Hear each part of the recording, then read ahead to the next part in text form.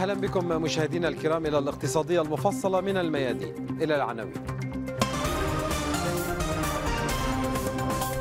السودان يبدأ بالتطبيع الاقتصادي والتجاري مع دولة الاحتلال الإسرائيلي وخطط لتدشين ممر بحري مباشر بين إيلات المحتلة وميناء جدة السعودي.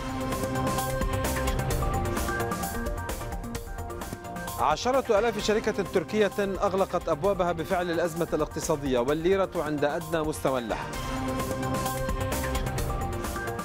وفي النشرة أيضا الصين تتجه لفرض عقوبات على كبريات شركات صناعة الأسلحة الأمريكية. وتحذر واشنطن من تبعات خطيرة إذا وافقت على تسليح تايوان.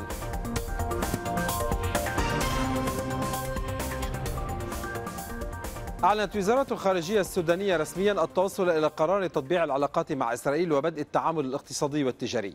وفي تغريدة على موقع تويتر أكدت الوزارة أن اجتماعا سيعقد خلال الأسابيع المقبلة مع وفد إسرائيلي لعقد اتفاقيات تعاون في المجالات كافة أبرزها الزراعة والتجارة لتحقيق المصالح المشتركة بين الطرفين بحسب بيان الخارجية هذا وقالت صحيفة إسرائيل, إسرائيل اليوم إن الإمارات وإسرائيل تدرسان فتح ممر بحري مباشر للحجاج المسلمين من مرفأ إيلات إلى مدينة جدة السعودية. الصحيفة أشارت إلى أنه خلال زيارة سلطان أحمد بن سليم الرئيس التنفيذي لمجموعة موانئ دبي العالمية على رأس وفد من رجال الأعمال الإماراتيين إلى ميناء إيلات طرح مدير المرفأ مخططا لتسيير رحلات بحرية مباشرة مع ميناء جدة التي تبعد نحو 70 كيلومترا عن مدينة مكة. قال السفير السعودي في الأردن نايف بن بدر السديري إن بلاده ستنشئ مستشفى وجامعة طبية في عمان بكلفة 400 مليون دولار. الزديري قال إن صندوقا مشتركا بين البلدين سينفذ أو سينفذ مشروع سكة حديد تربط جنوب الأردن بعمان مؤكدا أن الرياض ترى فرصا استثمارية ضخمة في الأردن أهمها في مجال السياحة وضعت الحكومة الجزائرية مشروع موازنة ينص على الرفع التدريجي للدعم عن المواد الغذائية وخفض قيمة الدينار أمام الدولار بنسبة 5% وتواجه الجزائر ضغوطا مالية كبيرة بسبب تبعات وباء كورونا على الصحة والشركات والأسر. ومع العودة التدريجية إلى النشاط الاقتصادي خلال العام المقبل ستسعى الحكومة الجزائرية إلى تعويض هذه الخسائر والاستخدام الفعال لمواردها المالية أعلنت مؤسسة النفط في ليبيا انتهاء الإغلاقات التي شهدتها الموانئ والحقول النفطية في البلاد بعد رفع حالة القوة القاهرة عن حقل الفيل النفطي. المؤسسة قالت إن التعليمات أعطيت للمشغل بمباشرة الإنتاج من حقل الفيل النفطي وعودة استخدام الخام تدريجيا إلى معدلاته الطبيعية خلال الأيام المقبلة. نبقى في ليبيا حيث حذر صندوق النقد الدولي من اندلاع اضطرابات اجتماعية في البلاد بسبب وباء كورونا. وأكد أن الجمع بين الحرب والوباء قد تكون له أثار مدمرة. ويصنف صندوق النقد الدولي ليبيا بأنها الأسوأ أداء اقتصاديا في منطقة الشرق الأوسط وشمال أفريقيا يليها لبنان. وذلك بعدما انكمش اقتصادها بشكل حاد إثر تراجع إنتاج النفط بأكثر من 90% وخسارة إيرادات بنحو عشرة مليارات دولار منذ بداية هذا العام. تضعف الامال في تركيا بتحسن المؤشرات الاقتصادية في الربع الأخير من هذا العام بسبب انعكاسات التوترات السياسية على الاقتصاد إضافة إلى تبعات انتشار فيروس كورونا واستمرار تراجع قيمة الليرة التركية أمام الدولار. خابت آمال البنك المركزي التركي الذي تعهد أن لا يزيد سعر الدولار على سبع ليرات تركية ولم تصب توقعات المحللين بتحسن السياحة والصادرات تركيا تدفع ثمن التوترات الجيوسياسية التي شاركت فيها بطريقة مباشرة أو غير مباشرة من خلال تراجع معظم المؤشرات الرئيسية للاقتصاد. نسبة التضخم قاربت في المئة وهي أعلى من معدل الفائدة على الليرة التركية ما يعني عدم جدوى الاستثمار في الأصول التركية ويفسر الضغوط التي تتعرض لها العملة التي وصلت اليوم إلى ثمان ليرات مقابل الدولار. من ناحية أخرى تجاوز عدد الشركات التي جرت تصفيتها في الأشهر التسعة الأولى من هذا العام العشرة آلاف والأربعمائة والخمسين شركة وهو رقم قياسي يظهر حجم التحديات التي يواجهها القطاع الخاص ليس فقط بسبب الأزمة الاقتصادية التي بدأت قبل عامين بل بسبب تداعيات انتشار فيروس كورونا المستجد. ولعل الخطر الأكبر المحدق بتركيا هو التخلف عن سداد الديون إذا ساءت أوضاع السيولة لديها. فقد حذر الرئيس التنفيذي السابق لصندوق النقد الدولي ديزموند لاكمان من أن الشركات والبنوك التركية ستواجه قريبا مشاكل في سداد نحو 300 مليار دولار من الديون. ووصف اقتصاد تركيا بأنه منفصل عن الواقع بسبب التفاؤل المفرط الذي أعرب عنه صهر الرئيس التركي رجب طيب أردوغان وزير المالية برات البيرق أواخر الشهر الماضي.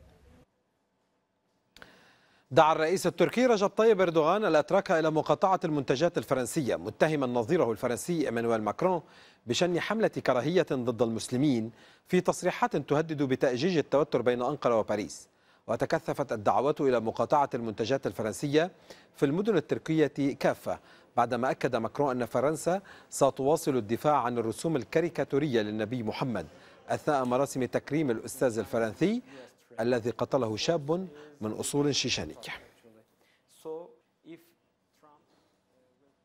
أعلنت وزارة الخارجية الصينية عزم بكين على فرض عقوبات على شركات لوكهيد مارتن وبوينغ وريثيون الأمريكية بسبب مشاركتها في تسليح تايوان. الخارجية الصينية قالت إن موافقة واشنطن على مبيعات الأسلحة هذه سيكون لها أثر كبير على العلاقات السياسية والدبلوماسية بين البلدين. تخطط الحكومة البريطانية فور خروجها من الاتحاد الأوروبي لإبرام صفقة تجارية مع واشنطن وسط انتقادات واسعة بسبب خضوعها للمعايير الزراعية الأمريكية في استيراد بعض المواد الغذائية. موسى سرور من لندن. لا فوز جو بايدن ولا فوز دونالد ترامب في الانتخابات الرئاسية سيريح حكومة المحافظين.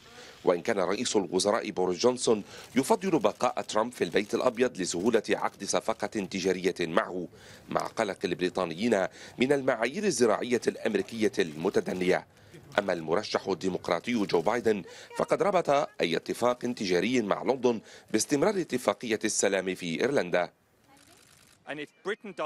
أكثر ما يخيفنا أنه إذا أبرمت بريطانيا اتفاقا تجاريا مع الولايات المتحدة فلن يكون هناك مجرد تبادل للبضائع بل هو عمليا استيراد لنظام الاقتصاد الأمريكي. والسبب أن المعايير الغذائية الأمريكية متدنية وغير مطابقة للبريطانية وهناك أكثر من 90% من البريطانيين يعارضون استيراد بضائع ذات معايير متدنية. تطمينة وزيرة التجارة الدولية لستروس بشأن المعايير الزراعية الأمريكية لم تقنع هؤلاء المتظاهرين في ساحة البرلمان بخطورة استيراد الأبقار التي يجري حقنها بالهرمونات والدواجن المكلورة فضلا عن خشيتهم من أن تكر سبحة الصفقات مع واشنطن وتطاول القطاع الصحي الذي يقدم الخدمات المجانية إلى المواطنين. نحن نعارض أي صفقة تجارية مع واشنطن بغض النظر عن هوية الفائز في الانتخابات الرئاسية الأمريكية.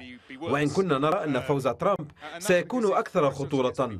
والسبب في ذلك أن الأمر سيتيح لجونسون خصخصة القطاع الصحي فضلا عن تدني مستوى المعايير الزراعية والبيئية. السفير الأمريكي في بريطانيا وجونسون كان قد هدد بمنع استيراد الأسماك الإسكتلندية إذا حظر استيراد الدواجن الأمريكية. يبدو واضحا أن معركة جديدة ستفتح مع واشنطن في حال إبرام صفقة تجارية معها. معركة قد تؤثر على العلاقات المميزة بين لندن وواشنطن إذا قرر البريطانيون مقاطعة البضائع الأمريكية. مستصر لندن الميادين. تراجعت مبيعات المنازل الأمريكية الجديدة في شهر أيلول سبتمبر بنسبة 3.5% ما ينذر وفق مراقبين بحدوث أزمة عقارية بالتزامن مع التراجع الاقتصادي في البلاد.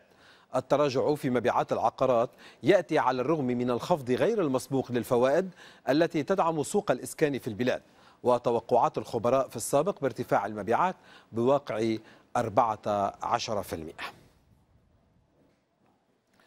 كشف بنك التسويات الدولية أن ديون الأسواق الناشئة المقاومة بالدولار تجاوزت 4000 مليار دولار للمرة الأولى في أعقاب زيادة إصدارات الدين خلال أزمة وباء كورونا.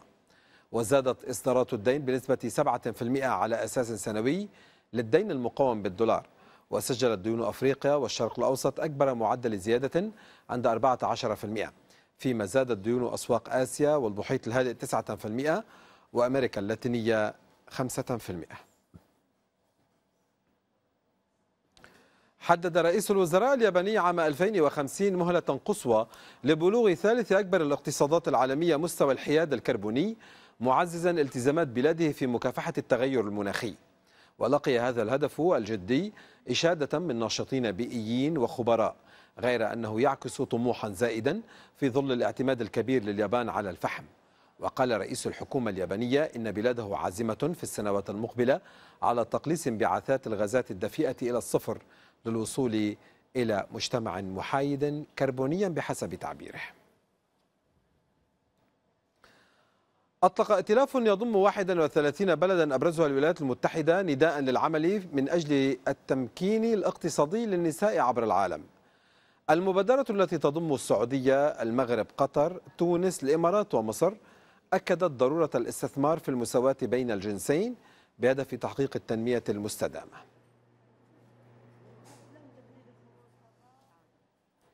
هذا كل ما لدينا من أخبار اقتصادية. نشكر لكم حسن المتابعة. الميادين دوت نت للمزيد. إلى اللقاء.